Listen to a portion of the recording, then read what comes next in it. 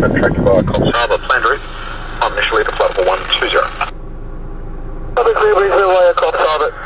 Climb initially flight level 120, velocity 1763. Velocity 1763, just confirming that's uh, clear to Brisbane via Coffs Harbour, planned route, flight level 120. Confirm that's uh, cleared to Brisbane via Coffs Harbour, planned route, flight level 120, velocity 1763. 700, now left south